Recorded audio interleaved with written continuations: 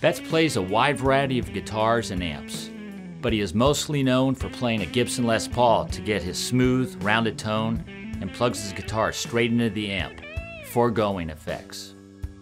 For amps, he prefers the classic tube amp variety to get a clean tone with just a hint of sweet saturation when he needs it.